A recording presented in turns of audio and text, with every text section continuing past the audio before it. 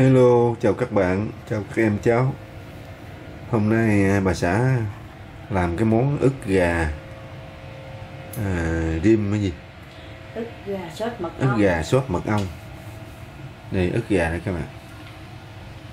Ức gà tàu, ức gà lôi, cái này ờ, ức gà ức gà xào ức gà tàu.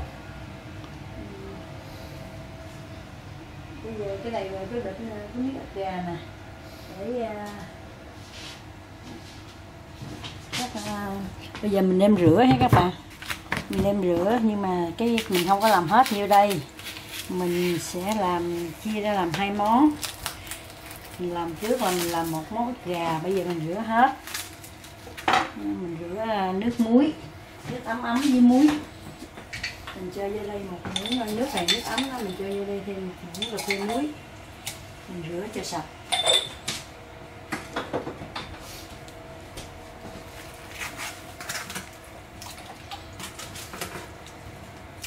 Ức gà ăn giảm cân nha các bạn ơi. Mình à, biết- biết chế biến thì ăn không ngán còn không biết chế biến thì ăn cái nạp không nó rất là ngán.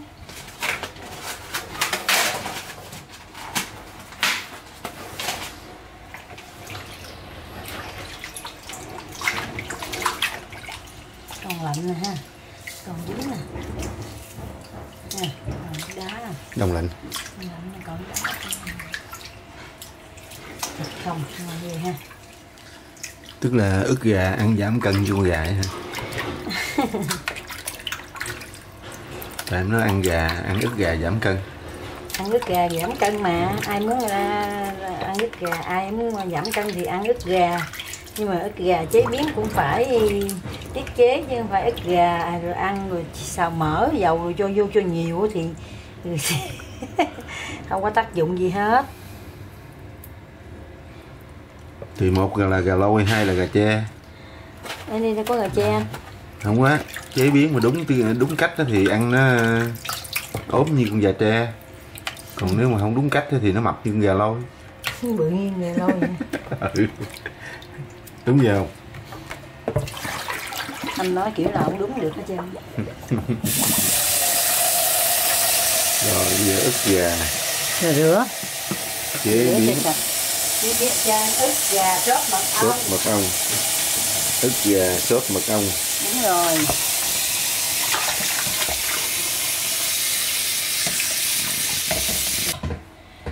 Rồi, bây giờ mình làm cái ờ, món ờ, gà sốt ờ, mật ong đó các bạn. Thì gồm có mật ong. Bột bắp. Mè mè rang rồi. Nước tương. Tương ớt và dầu một số gia vị trong nhà bếp. Bây giờ cái gà này mình cắt hạt lựu mà lớn lớn đó các bạn.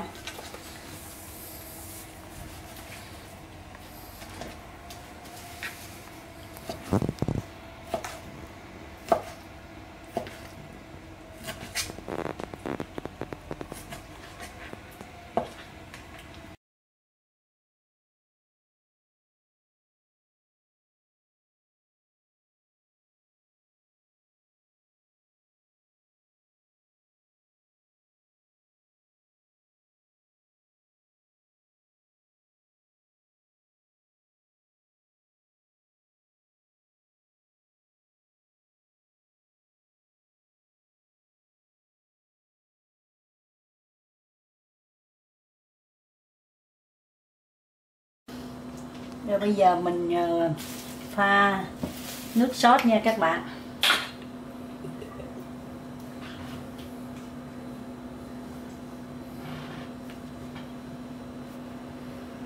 Một muỗng.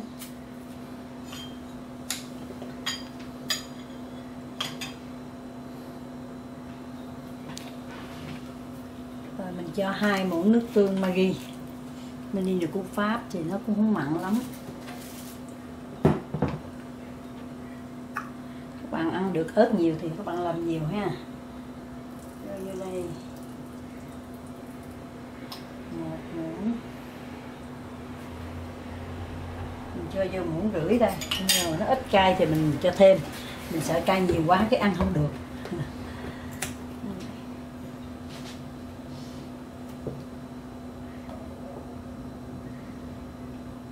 Mật ong hả?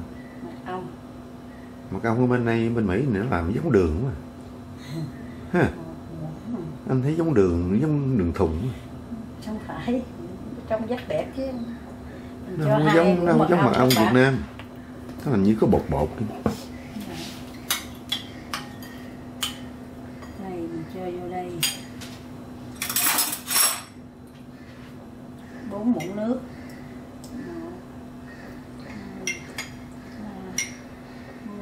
Sáu muỗng năm. Sáu muỗng nước các bạn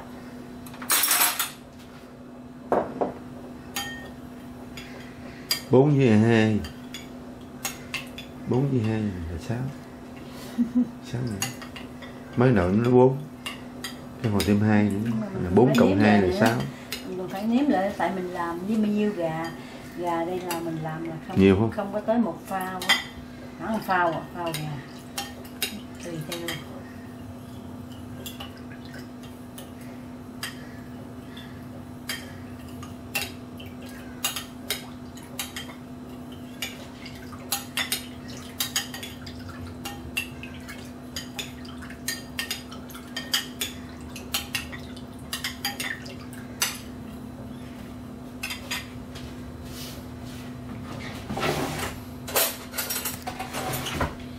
nếm lại cái nước này nữa.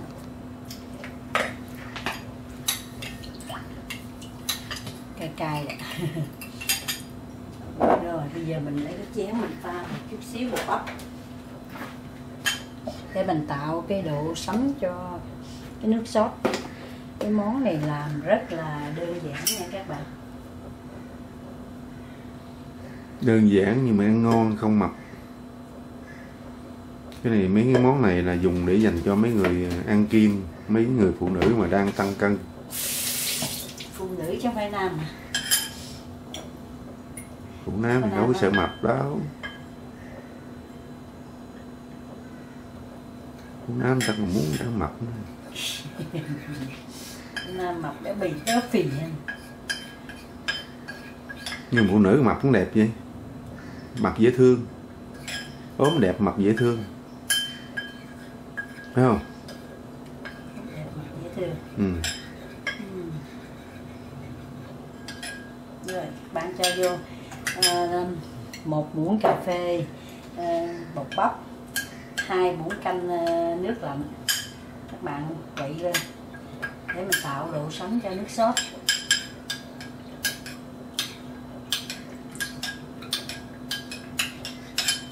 Rồi, xong bây giờ mình có tỏi, mình có băm sẵn rồi, bây giờ mình bắt đi bắt chảo lên.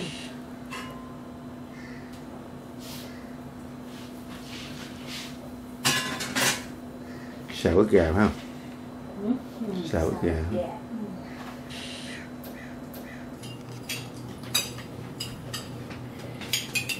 mình ờ, chế cái ờ, hỗn hợp này vô trong đó. Tùy theo các bạn làm nhiều ít nha. Ví dụ như các bạn làm nhiều ờ, gà ít gà hơn nữa thì các bạn làm cái nước sốt nó nhiều hơn nó nhân cái tỷ lệ vậy lên nha. Nước tương Maggi thì các bạn làm hai muỗng hai muỗng đầy hai muỗng canh đầy rồi hai muỗng lưng lưng ngang là mật ong một muỗng rưỡi tương ớt hoặc hai muỗng tùy theo các bạn ăn nhiều nhiều ít mình cho 6 muỗng ờ, nước đầy. 6 hoặc 7 muỗng cũng được. Rồi mình để cái, cho cái hỗn hợp này sôi lên. Sôi lên xong cái mình cho bột vô, cho nó sánh lại. Rồi còn còn bên ờ, bên đây thì mình, bắt lên mình xào ức gà.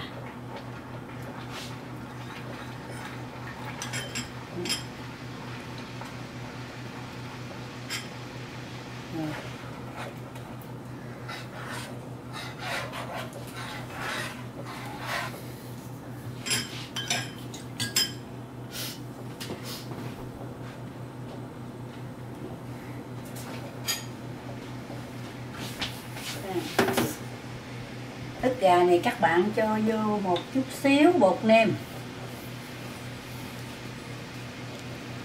Một chút xíu bột nêm đường khoảng là nửa muỗng bột nêm để cho nó nó đậm đà cái miếng thịt của mình hay các bạn.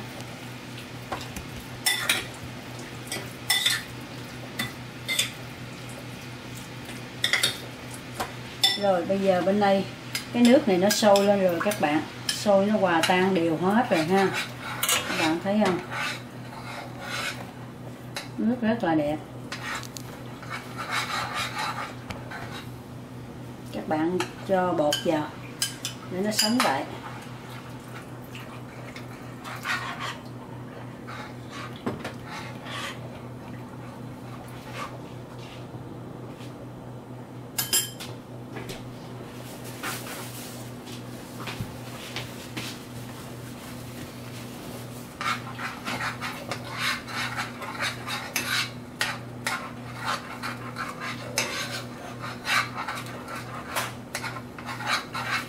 Mà các bạn ăn cay được nữa thì các bạn cho thêm vô hơn ờ, cho thêm ớt nhiều hơn ha. Rồi xong bây giờ mình tắt lửa. Mình tắt lửa nha. Rồi mình bắt cái ờ, chảo lên để mình xào thịt gà đây là nước sốt này mình đã xong rồi đó các bạn. Thơm ha nếu mà các bạn ăn cay được các bạn để thêm tương ớt một muỗng nữa cũng được gà nó mình nó lăn bột làm chi không không? Xào mà anh à, ừ. mà có ốc gì không? Ướp chút xíu bột nêm thôi. Không có muối mắm gì mình chút mình xào chút xíu thì mình đây cái nước đó nước sốt của mình mình đã làm rồi. Anh cho chút xíu bột nêm vậy cho nó, nó thấm gia vị ngon thôi. Chảo nóng mà Đúng rồi. chảo nóng rồi các bạn ờ, cho vô đây ờ, hai muỗng canh dầu ăn. Một muỗng rưỡi nè một muỗng rưỡi dầu ăn. Ăn để đi không cần nhảy lên. Dầu này là dầu ờ, có khử tỏi đó các bạn.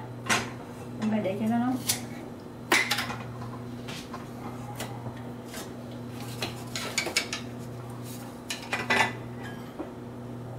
có em nào hỏi cái tỏi này em làm sao để dành ăn lâu được không Ừ, ừ. rồi mình cho tỏi vào hả các bạn.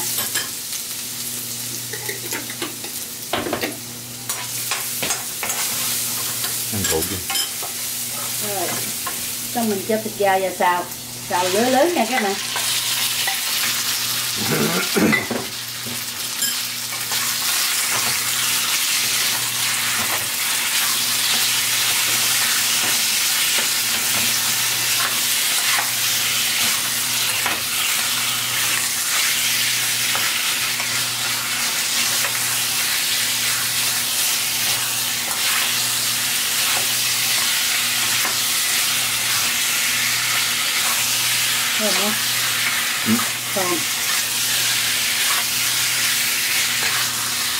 sao em hay quá em xào ức gà nó thơm những mùi gà?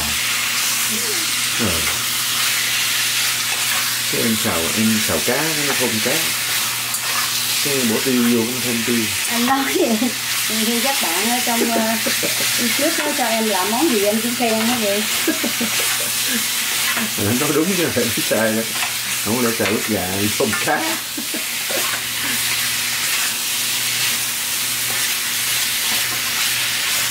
Cá hồi sáng mình đọc cái comment của cháu mà nó nói khuya rồi mà con thấy cái à, video mà làm bánh bao của cô chú con ngủ cũng được. Chứ con tính con cô con coi cô chú làm bánh bao con thức tới khuya luôn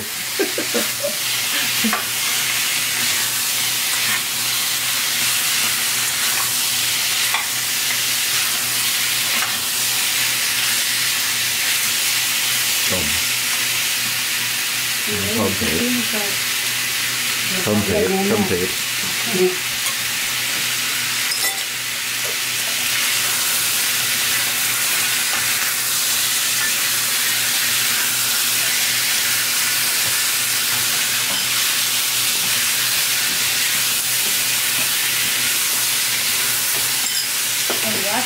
Thơm thơm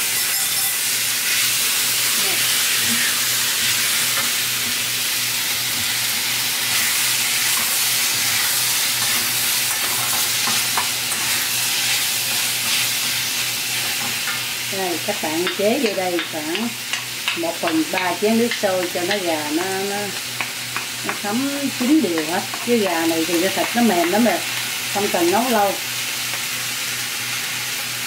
Đây các bạn. Nước, nước sôi à, nước sôi. Các bạn mình chế nước lạnh nha chế nước sôi.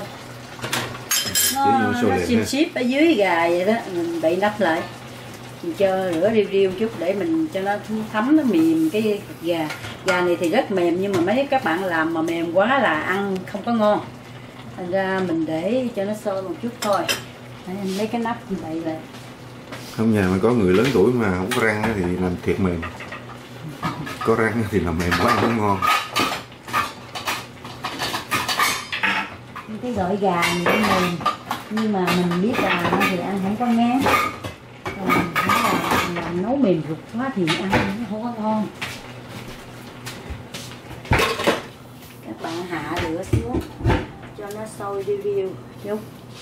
À, trong vòng chừng 5 phút mà là cái cái đó là mình nó cạn được rồi.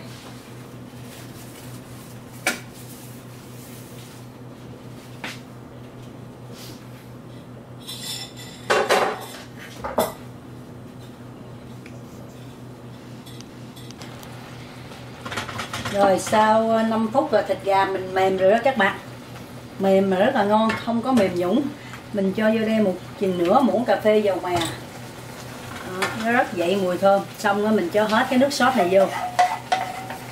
Các bạn thấy không? Nước sốt này sạch mình cho hết nước sốt này vô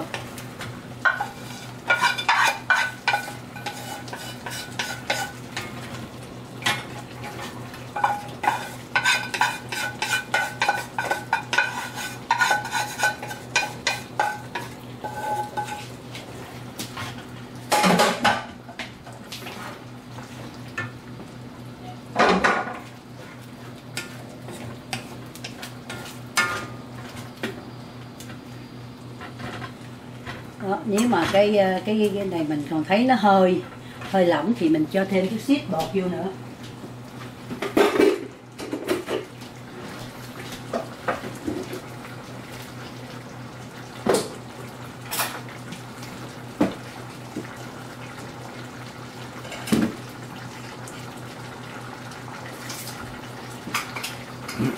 Nhà ăn với bánh mì cái gì?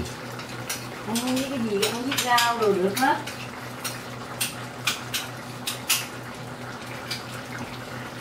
với cơm nữa. ăn với cơm cũng được mà ăn với rau cũng được đây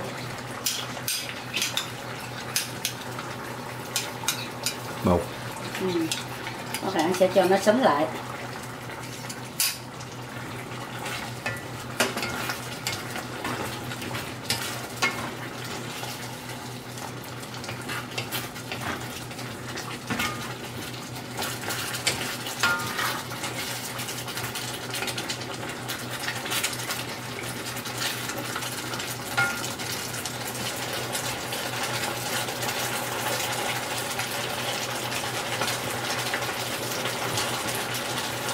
bây giờ mình nếm thử coi nó có có cay không.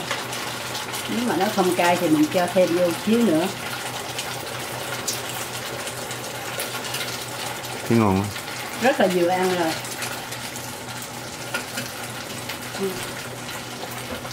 Mình tắt lửa mình vứt ra mình để lên một ít ngò. Với mình rắc mè lên các bạn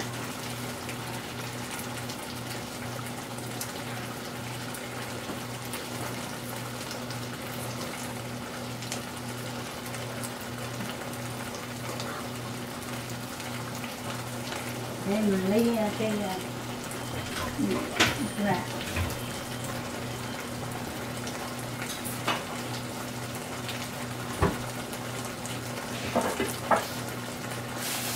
được chưa?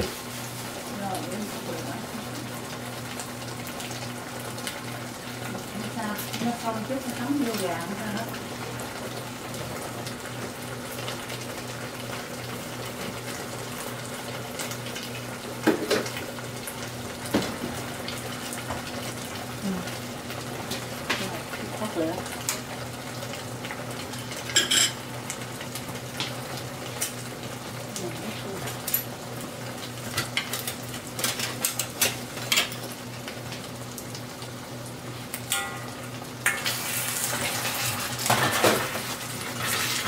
sệt quá ha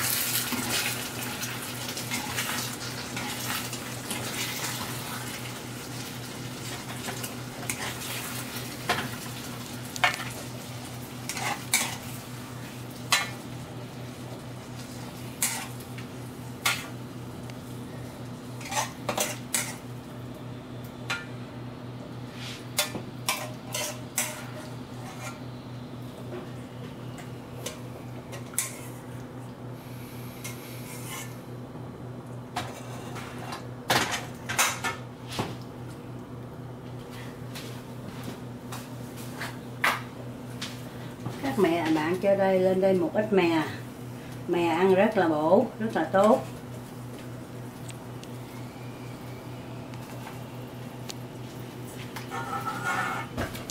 Rồi mình cho lên đây vài cọng ngò nữa đây.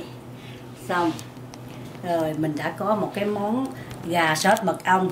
Các bạn ăn với cơm cũng được mà ăn với bánh mì cũng được ha đó, các bạn ăn không với rau cũng được luôn. Nếu mình đai ẹp mình không ăn cơm mình ăn chung với rau mình trộn một dĩa xà lách các loại rồi mình ăn chung với cái món này là các bạn sẽ được giảm cân người rất là bổ mà giảm cân nữa. Rồi bye bye các bạn nha. Nếu mà các bạn cảm thấy ờ, thích cái món này thì các bạn hãy vừa vào bếp làm với mình ăn thử xem sao nhé các bạn rồi, rồi các bạn có chào các gì bạn. góp ý thêm thì các bạn cứ góp ý mình rất là cảm ơn nha. Rồi, rồi, bye bye, bye bye. các bạn nha. Bye bye Hẹn gặp lại video sau. bye. Bye bye mấy bạn nha. Các bạn nào có thích video này nhớ bấm chữ like nha.